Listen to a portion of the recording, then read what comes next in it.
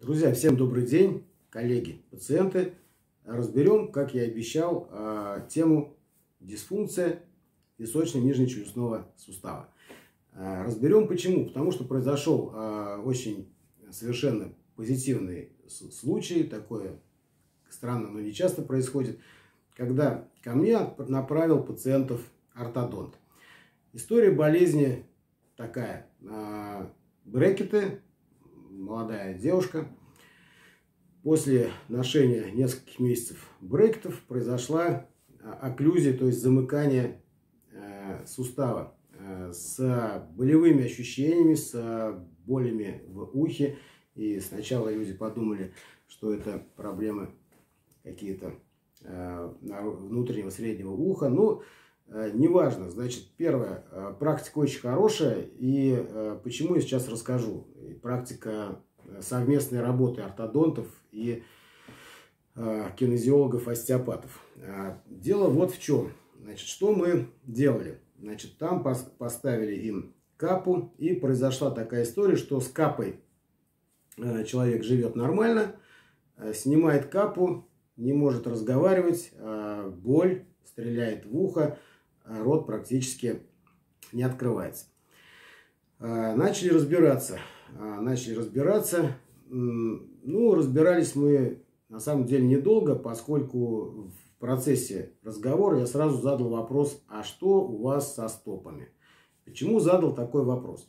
Потому что э, у человека оказалась да, плоскостопие, ну, а за плоскую стопу, вернее, за ее форму, как раз за арку стопы, как раз отвечает мышца, которая называется задняя, задняя большеберцовая. И, как ни странно, ну, это как бы все знают кинезиологи, а эта мышца входит в состав глубинной вентральной мышечной миофасциальной цепи. А что такое миофасциальная цепь? Это группа мышц, которые выполняют а, единую функцию. Вентральная цепь – это так называемые Э, каркас, на котором держатся все внутренние органы. Начинается цепь от стопы и как раз заканчивается э, крыловидными мышцами, наружные и внутренние крыловидные мышцы э, височного сустава. Значит, какие еще мышцы входят в сустав? Это, конечно, жевательные мышцы. Мы чуть попозже, когда про эмоциональный аспект будем говорить, вы поймете, что это очень интересно. Итак, в процессе тестирования выяснилось, что нестабильное колено с этой же стороны, ну, оно так и должно быть, так идет цепь, спирально идет. А, значит, с этой же стороны мышца гипотоничная, задняя берцовая. А, вследствие а, нестабильное колено. А если нестабильное колено, это еще коллатеральные медиальные связки и латеральные. Латеральные связки колена, также это наружная боковая, латеральная боковая цепь, которая также замыкается на височном суставе.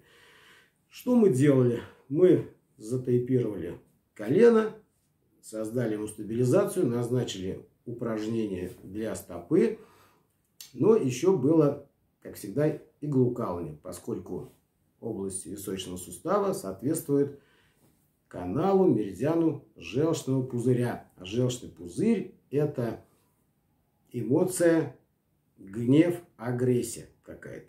Или это вэй-чи, защитная чи, которая, как я э, ну, люблю говорить, это как активная броня у танка. То есть это э, пред, предшествующая агрессия для того, чтобы ну, тебя, себя защитить. Как бы, да? Такая активная защита, если вы меня поняли. А, ну и так, э, Почему я вернулся теперь к меридианам? Потому что э, есть такая штука, новая германская медицина Хаммер, которая определяет процесс психосоматических заболеваний, их порядок развития, там все связано с, с специальной природной биологической программой. Значит, что такое с точки зрения эмоций э, височно-челюстной сустав? Все мы помним, знаем, когда мы на кого-то злимся, и мы говорим – злишься, аж зубами скрипишь, да, и у нас там начинают желваки. Желваки такие здесь двигаются. Что такое у нас вообще рот, челюсть, э, исходя из того, что мы какой-то частью животные?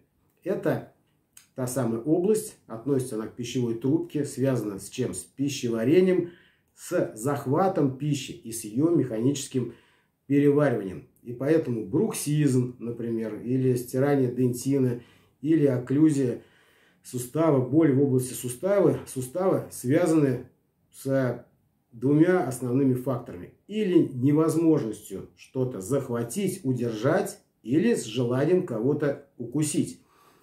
А, ну, вы, вы э, ниже посмотрите, как это все а, объясняется с точки зрения Хаммера.